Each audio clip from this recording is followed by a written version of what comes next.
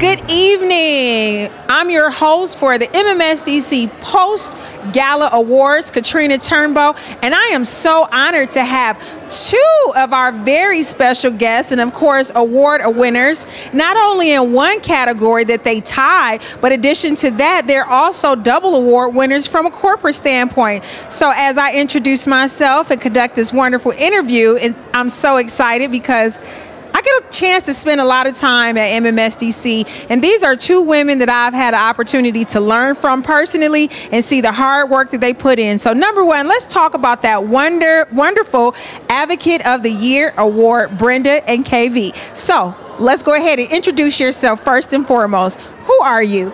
My name is Brenda Marshall, and I am the principal and general uh, practice leader for diversity and inclusion at Kelly Services. I'm Kavy Lenon with Herman Miller. I'm the Senior Supplier Diversity Manager. So, from both of you guys' standpoint, tell us a little bit of what does it mean to be the Corporate Advocate of the Year award? What does this award mean to you? For me, being Corporate Advocate of the Year is an honor and it's a privilege because it's our peers and our colleagues recognizing what we do every day, trying to make a difference and building bridges to doorways of opportunity so that all organizations, minority businesses, small businesses, women owned businesses can compete effectively and win. So it's quite an honor that to receive that recognition.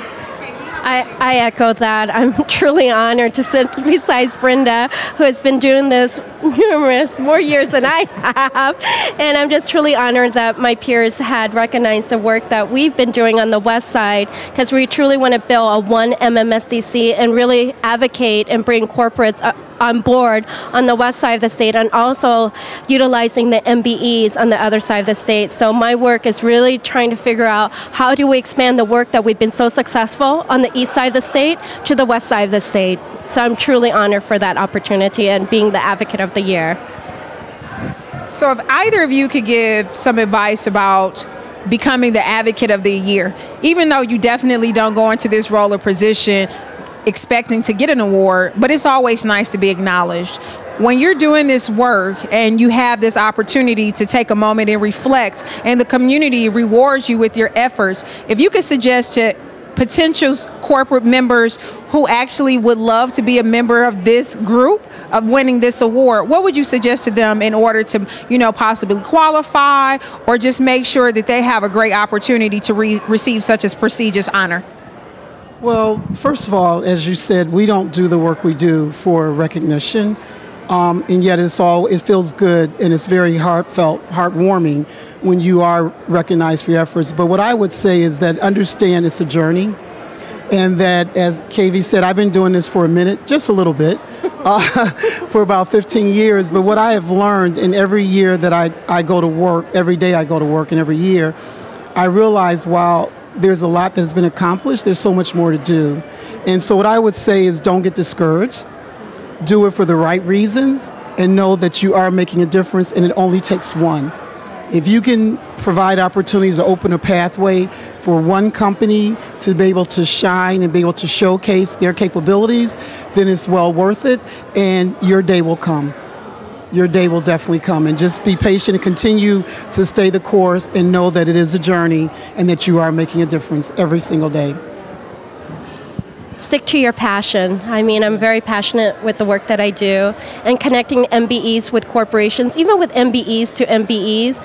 I think that we're truly passionate in the work we do. I believe all my colleagues have the same passion as I do to giving that equal opportunity for MBEs to giving them that chance to speak with the procurement team or showcase their strength and showcase what they could bring to the table. I think that's a win. And, and I do that every day and trying to get new MBEs in front front of potential clients. And I do it because I'm passionate about and believe in the work that I do. Well, we'll ask you both one final question as it relates to the wonderful companies that you work for. Of course, again, winning Corporation of the Year in each of your categories. So, could you tell us a little something that's unique about maybe the spend or how you how your companies actually work with MBEs that helped you gain this uh, recognition for your company overall? For Kelly Services, we've been at um, diversity and inclusion, and particularly supplier diversity for many years. But what we have learned is that our suppliers are our partners. They're not suppliers, they're not vendors in our supply base, they are actually our partners.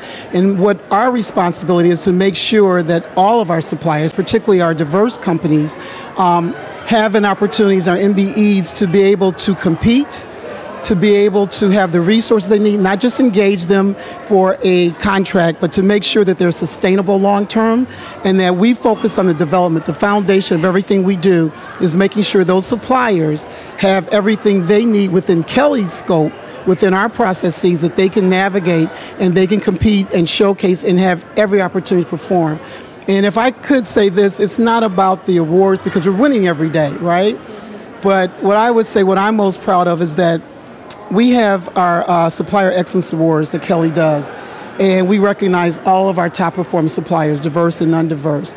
And in the last five, six years since we've been doing this award, where we combined all the suppliers, um, our diverse suppliers, 80% of our award winners have been diverse companies, minority businesses.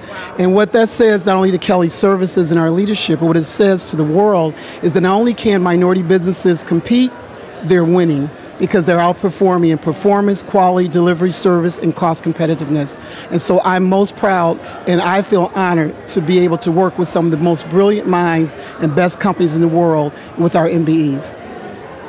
Wow, we have similar activities. Herman Miller have had our supplier diversity program for 28 years now. Over the years, we were single digit. Probably in the last 10 years, we're at double digits. We're close to as inclusive supply chain, we're at 18%. Um, our suppliers are our partners. They, I mean, some of our diverse suppliers have been with us for 30 years. And you talk about awards, right? We give awards to all of our supply chain. We don't uh, point out their MBEs or WBEs. We're, we want them to uh, compete at a even playground. And you know, to your point, we awarded our supplier excellence. Probably out of six of the ten were diverse-owned businesses.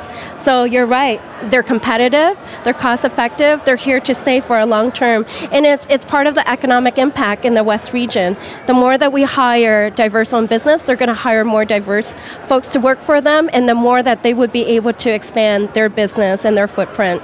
So I'm very proud that Herman Miller has this part of their core values. That is awesome, ladies. Thank you so much for taking a moment out of your wonderful evening. Um, after you are definitely celebrating to sit down and talk with MMSDC and give us your insight and feedback. So we hope you enjoy your evening and we look forward to seeing you next year too.